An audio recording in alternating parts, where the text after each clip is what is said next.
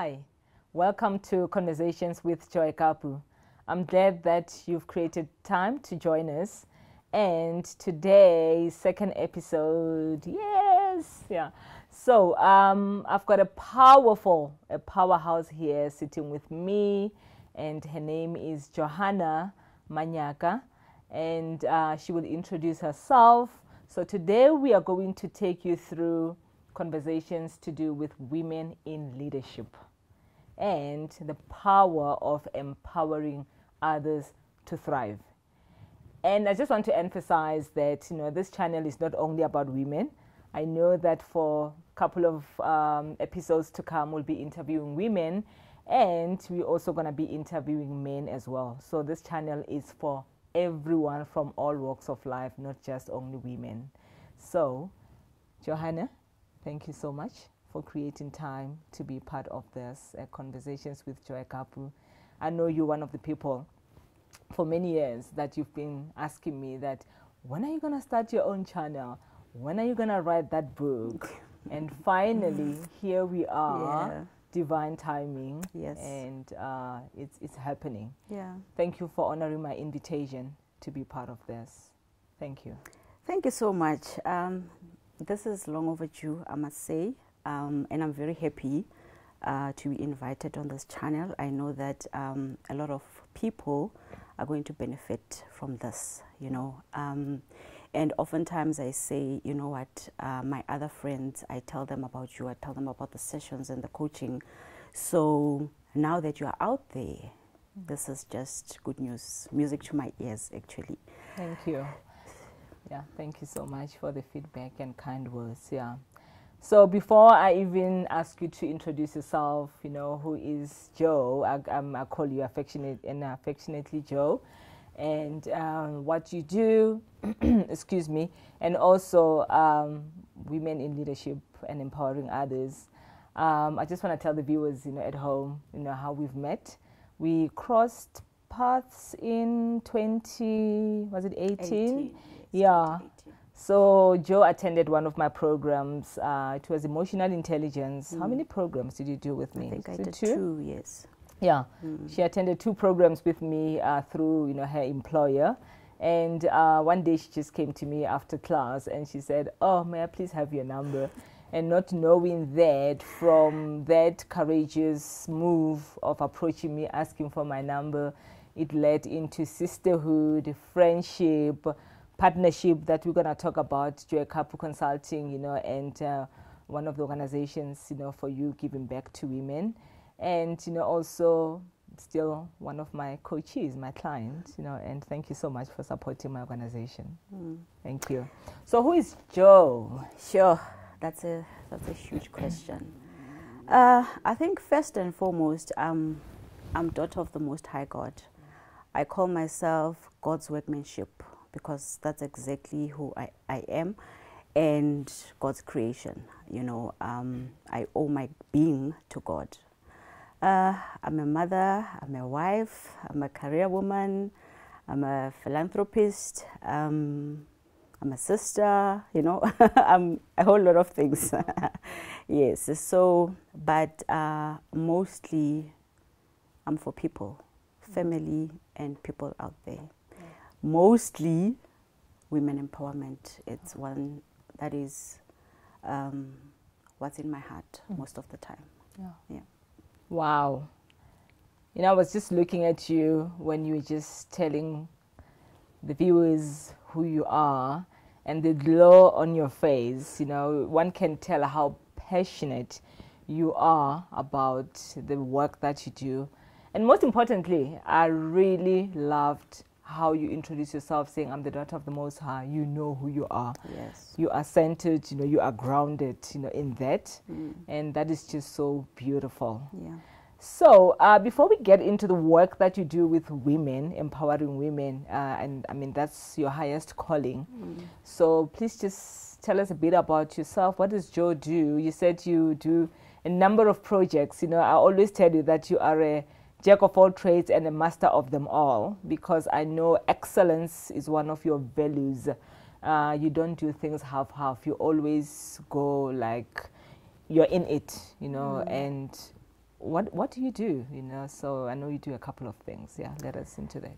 Yeah, you, you yes, I, I actually do a lot of things, and and I think a lot of things came like later, sort of in in my life as I got to understand myself better and to know myself better because oftentimes you go into a journey of life as a, as a person, as a, as a young girl, you just want to see yourself thriving, you know, um, and prospering and being successful, but you don't actually know the true self or the actual calling that uh, God placed you on earth for. You know, you just see career, you just see uh, company. I have to, I want to work in this company, or this is what I want to do you know you forget self you, you forget the actual purpose you are here on earth so my background um, i'm a it I don't, I don't like to say I'm an IT person. mm. I'm a, that's where I'm in. That's the space that, that, I'm, mm. that I'm in. Mm. Um, I've,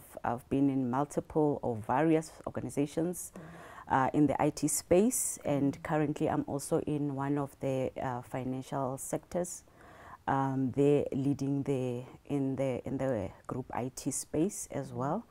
So my journey has always been being a specialist, mm-hmm. right? And I remember throughout my journey, as I reflect, each time I was due to enter into a leadership role, mm-hmm. I would actually resign. Mm-hmm. But I don't think a lot of people know about this, but they just thought Joe is maybe job hopping. But for me, um, as soon as they say, okay, fine, now you, you, you need to lead this, you need to be in the leadership position, I would just resign. Mm-hmm. I was mm. just comfortable in my space as a specialist in my little corner and doing my own thing, you know. And I did it for few companies, actually. And I remember the last one where I did that, I stayed in that position three months. I said, okay, let me try it. And three months after that, I resigned, I left again. So where I'm at right now, I think I even maturity. As I did that, I was growing as a person. I got to know who Joe is. You know, uh, I was now intentional about my journey. It was not just about changing careers or moving companies. It was more from a personal um, growth. You know, more than career growth perspective. You know, mm. and I think I was I was just comfortable in my in my shell, in my little corner uh, no one knows me. I was just fine, you know. Uh, but what I've also noticed is sometimes we don't realize uh, the power inside of us. You know, you just think that I'm one of those people. I go with the flow. I'm part of the flock like that. And I think that's where we actually you get to a place of frustration. Uh, you're not satisfied with your job or your career, Eh, but you can't even pinpoint what the issue is about that.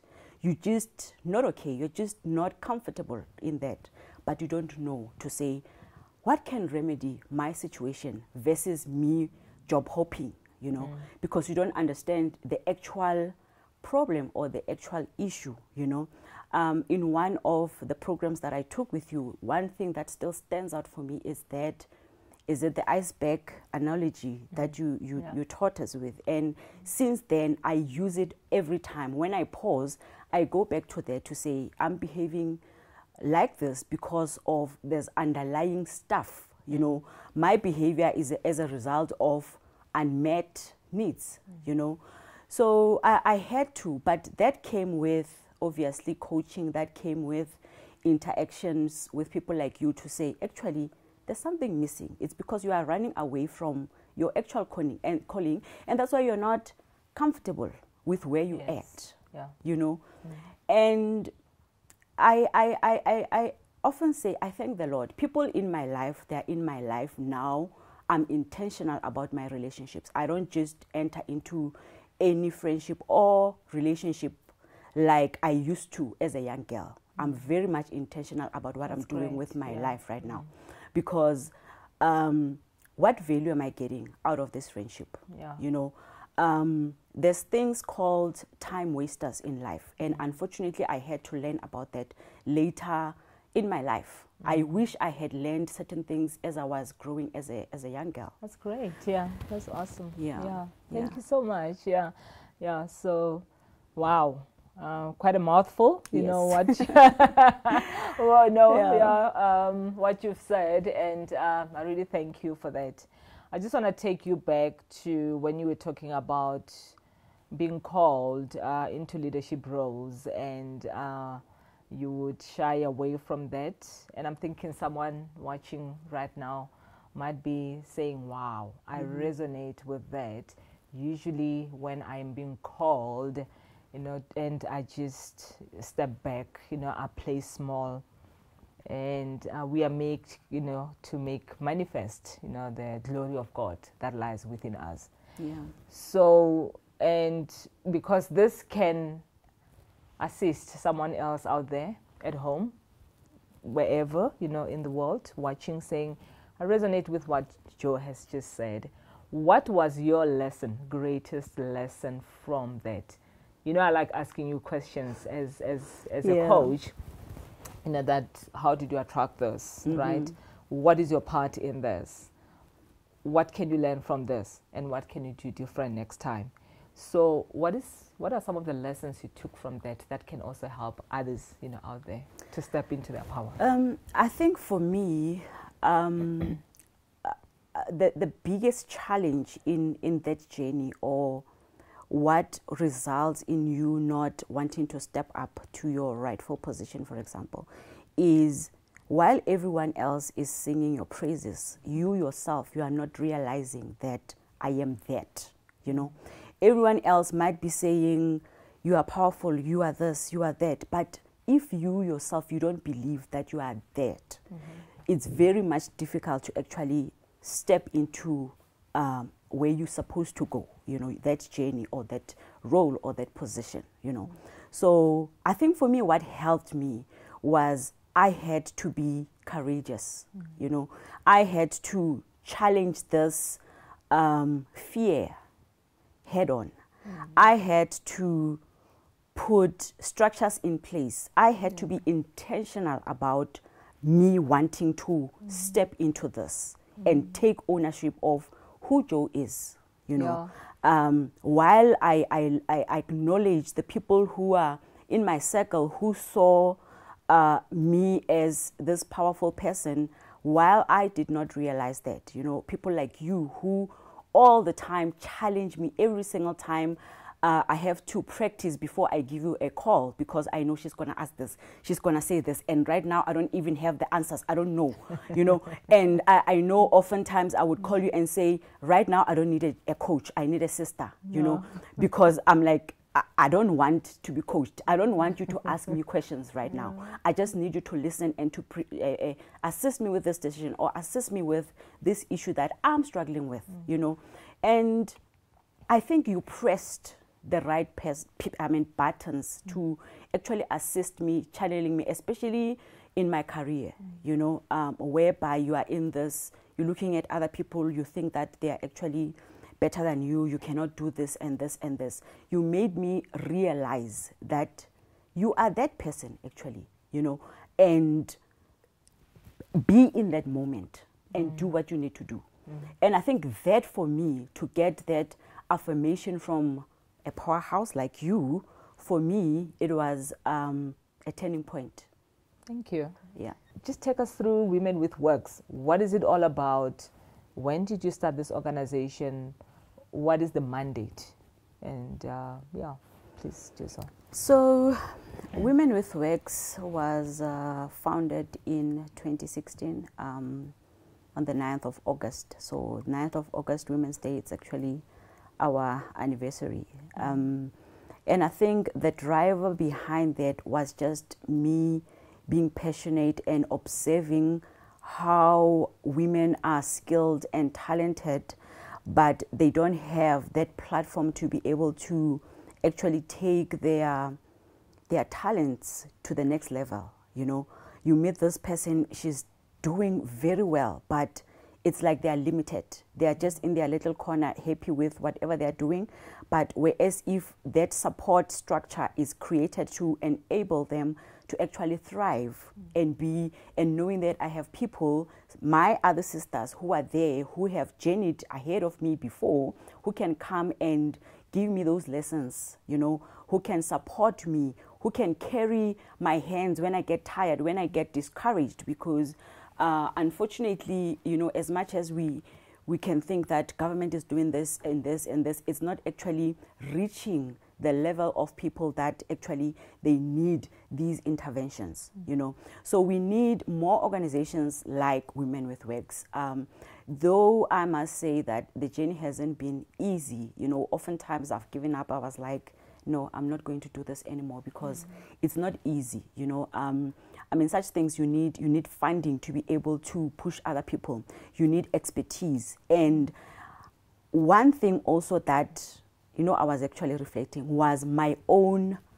flaws, if I were to put it that way, in terms of business or entrepreneurial uh, matters. You know, I find myself starting this thing, excited about this thing, uh, but it's like the excitement dies down because you don't have the support, you don't know who to go and, and speak to to take this to the next level, you know.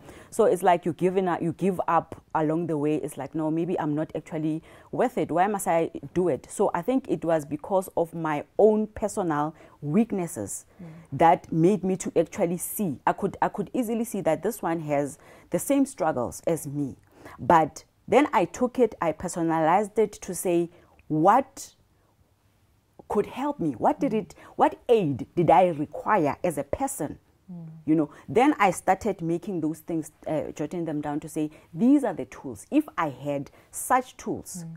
i could be somewhere mm. you know so this person because i can see that they have the same struggles if we can create this platform with these tools, with the right people in our circle, in our space, uh, because the motto of Women with Works is connecting women. Women, when they are connected, they are powerful. They are trailblazers. You know, they can build massive uh, conglomerations. You know, uh, but because now we are in our own silos, it becomes a problem. And even when those that are supposed to be powerhouses they don't get to that level to be noticed. You know we've got a lot of unsung heroes out there that can actually um, feed into our economy because of their skills and talents. But because now it's like they do this thing and then they, they, they don't have that support they don't even know which door to go and, and knock at then they give up yeah. you know. And that now results into um, poverty and the lack in their yes. lives yeah. you know yeah. so yeah great yeah thank you so much so you keep on talking about um, energy and people that are mm. in your circle mm. right and um, which is quite powerful you know one of the things also taken from this is that you guard, you know, your energy and your cycle, you know, fiercely. You just yes. don't expose yourself anymore to no. people that are not really going to add value into your life. You mm. know, the saying that your network is your net worth and yes. net worth doesn't only mean in monetary terms yes you know because you know energy what am i getting from you what are you investing into my life mm. you know can mm. be just time or saying positive things you know or the person challenging you to step into your power yeah you know all that yeah so um you you said um women with works is all about connecting women mm-hmm. so someone out there is saying wow I really want to be part of this uh, network, right? Mm. You know, connect with you know the powerhouses, and I know this can add value into my life. Mm. So how do they connect, you know, with you? How do they connect? Uh, website www.womenwithworks.co.za. Uh, my number, I'm sure uh, you can you can share later uh, with your with mm. your viewers. Yeah. Um, and I think even going to email, the website, email, they email can address get yeah, all the well. info. Yes, right? all the yeah. info. Yeah. So we are on rebuilding mode right now. Okay. So I would say to the viewers, they must watch the space. Okay, awesome. Yeah. So, mm-hmm. guys, watch the space. You know, uh, there's magic. You know, cooking in the yes. kitchen of women with works. Yeah. So thank you so much uh, for that. And like we've said earlier on jack of all trades and master of all of them. so you do a number of things, projects, you know, you've got a generous heart, you know, you give to the people. Mm. And I just want to find out, Joe, how do you unwind? How do you take care of self because we're not human doings, we are human beings. Lately, um, I'm not exercising as I should, mm. right? But I'm, I'm very much aware of that flaw there, that weakness. Um, but um, I read, you know, uh, Brene Brown, um, uh, Robin Sharma, and only because you, every time I come here, you would quote five books. I'm like, why does she get the time to read? You know. So now you have challenged me. Now I read. You know.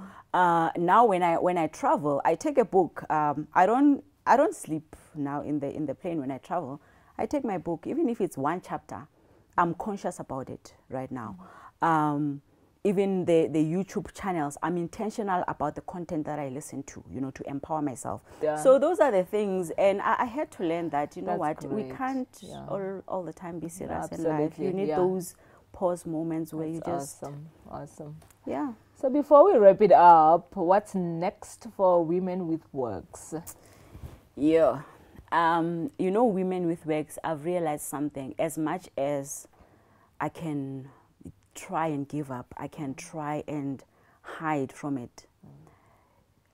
The world knows about it. People will still call. I'm, I think in this week only, I got probably two or three calls to say, "You are so quiet. You've you've gone quiet on us. What's happening? We miss the events. We miss the seminars. You know." And it's like I, I, have to always be on my toes because it's not only about me it's about people there who are waiting for this thing. You know, each time they look forward to say, what is she bringing? Which speakers are going to come and motivate us? You know, the people they look forward to it, and I think maybe now because we're going towards the month of August, and they know that August is our anniversary, and our events oftentimes is around that time. That's why maybe now they're saying, "But you're quiet. What's happening?" You know. So even when I don't want to do something, but because of the expectation out there, it gives me that pressure to actually want to. Yeah, yeah. and yeah. it, it just it ignites the fire inside of me as well to say to want to do this thing. Because you've got cheer uh, people cheering uh, uh, for you out there to say you know what? You can do this. Just do it. Do something. It doesn't have to be big yes. but just do something so Great. definitely, I yeah. think around the month of August, yeah. It's not even a thing. Okay, yes. It's Let me not say definite, I think. you know, I'm very conscious about yes. language. I call it the language of mastery. Yes. We don't do I think, maybe, maybe whatever. Yeah. No. It's beautiful thank you, jacket. Thank you Sunny. It represents your personality, actually. Yeah, I yellow. think so too, it's you. right? yeah, it represents your personality. Yeah. And I really, you know, appreciate you. Mm. And Thank you so yeah. much for the opportunity. Mm. I mean, you and I, I think you keep me on my toes. That's why I'm saying, you know, every time I call, I have to practice first before I call you. Um, sometimes I would be driving here. I'm like, oh my God, he's gonna, she's gonna ask me this, and I didn't do this, and I forgot to do this, and she's gonna want feedback from this and this and this. So you keep me on my toes, and because um, I used to procrastinate a lot, but now I don't anymore. You know, so those are some of the things that you have actually coached me well around, you know. So, so I don't even know, have words. All I can say is thank you, thank yeah. you, and thank you for the opportunity. Thank you. Thank yeah. you so much. I'm glad that, you know, I could be of service to you. Yeah. And I appreciate you.